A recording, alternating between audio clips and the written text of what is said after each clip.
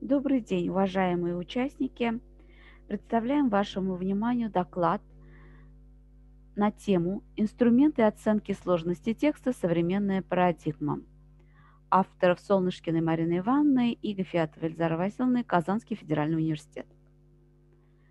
Крупномасштабные исследования чтения старшеклассников, такие как PISA и анализ результатов ЕГЭ – за период с 2002 по 2019 годы подтверждают, что большая часть старшеклассников не справляются с заданиями, направленными на оценку понимания связи отдельных информационных блоков, например, находить информацию, осуществлять интерпретацию информации, а также анализ и оценку содержания текста – Неутешительные результаты международных и российских тестирований чтения свидетельствуют также и о том, что тексты, предъявляемые школьникам, не соответствуют их психофизиологическому и языковому возрасту, то есть не соответствуют их возрастным особенностям, не развивают их мотивацию учиться, потому что не всегда значимы и неинтересны для них.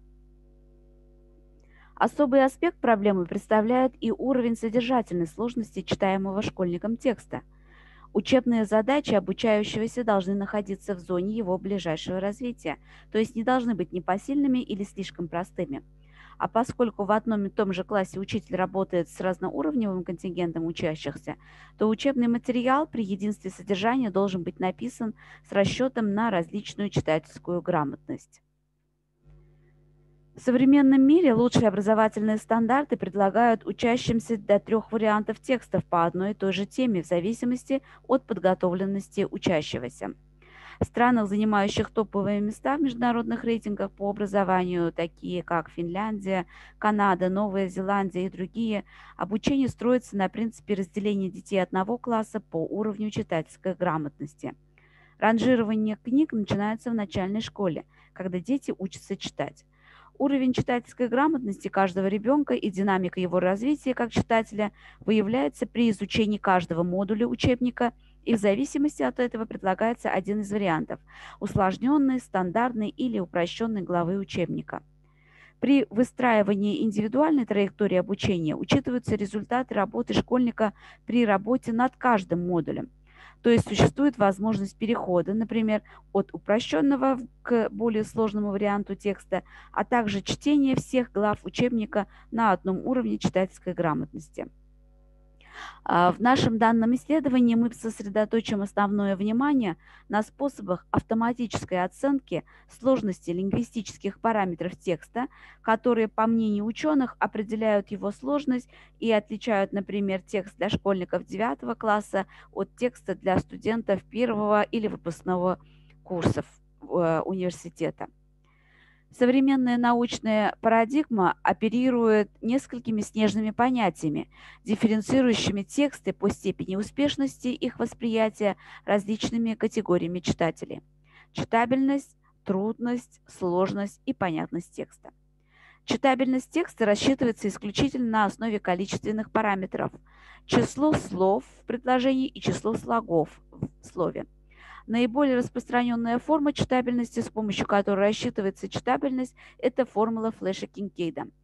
А, описание данной формулы вы можете увидеть на экране где средняя длина предложения вычисляется как отношение общего количества слов к общему количеству предложений в тексте, а среднее количество слов как отношение общего количества слогов к общему количеству слов в тексте. С увеличением числового показателя уменьшается сложность восприятия текста, то есть чем выше индекс, тем легче для восприятия читателем рассматриваемый текст. Для анализа русских текстов формула Флеша-Кинкейда адаптировалась дважды. В 2006 году Оборневой преимущественно для художественных текстов и в 2019 году для учебных текстов. В исследовании Оборневой материалом исследования явился корпус текстов из 100 аутентичных англоязычных и переводных русскоязычных художественных текстов общим объемом 6 миллионов словоупотреблений. Группа ученых под руководством Соловьева Валерия Дмитриевича использовала корпус текстов российских учебников, на материале которых была подтверждена жанровая зависимость формулы читабельности и, как следствие, доказана применимость формулы Оборневой для художественных текстов. Ученые также выявили формулу читабельности, валидность которой подтверждена на материале корпуса объемом более 10 миллионов словоупотреблений. Таким образом, для анализа читабельности художественных текстов, написанных на русском языке, рекомендуется использовать формулу Оберневой, которую вы можете увидеть на экране, а для оценки читабельности академических текстов информационного типа следующую формулу также представлена на экране. Сложность текстов по вышеуказанным и некоторым другим формулам можно рассчитывать при помощи автоматических анализаторов. И далее мы продемонстрируем работу автоматического анализатора Readability Formulas на примере текста An Unbelievable Night, использованного в международном тестировании PISA, где первичная оценка показала, что данный текст соответствует когнитивным способностям учащихся, обучающимся в школе не менее 6 лет.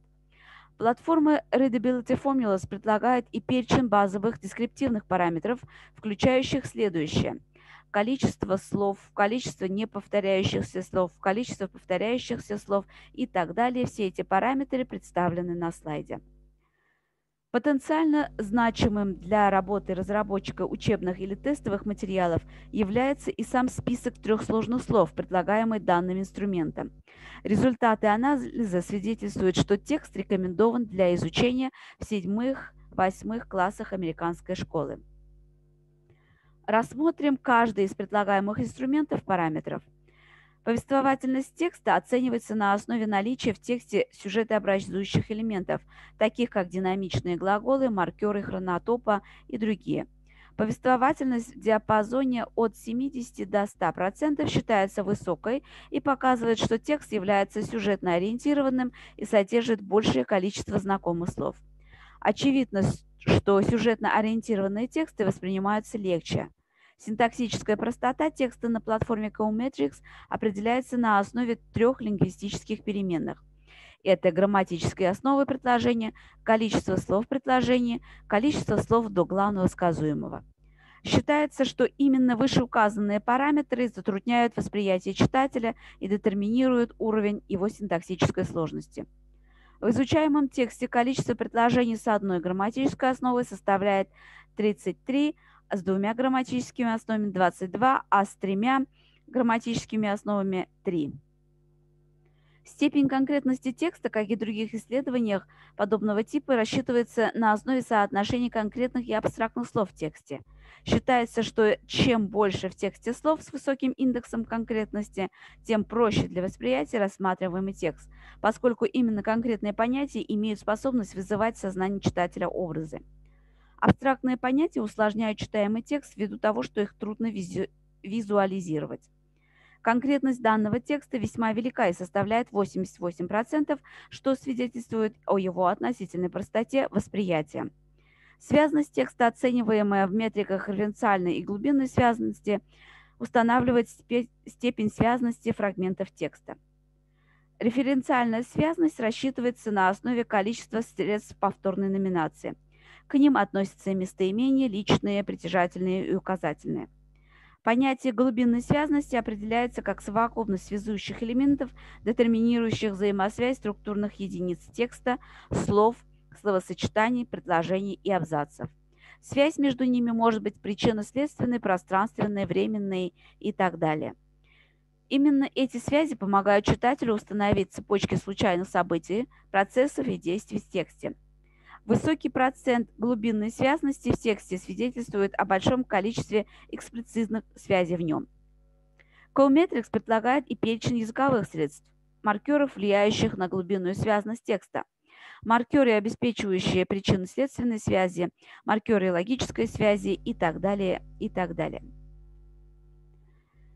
Инструмент, разработанный в рамках проекта English Profile и рекомендуемый Британским советом Text Inspector, также осуществляет оценку ряда лингвистических параметров текста. Наиболее существенной и значимой является оценка лексического состава текста и его соответствие общеевропейской шкале уровнем владения языком. Текст-инспектор предлагает статистику всех слов, то есть количество словоупотреблений и количество уникальных слов – то есть types, а также процент слов, принадлежащих различным уровням от А1 до С2. Как видим, лексика уровня А1 в данном тексте составляет 44%, от всей лексики текста, а лексика уровней C1 и C2 по 5%. Прозрачность деления всех слов в тексте по уровням доказывается возможностью видеть списки слов по всем уровням, а также список слов, отсутствующих в корпусе текстов.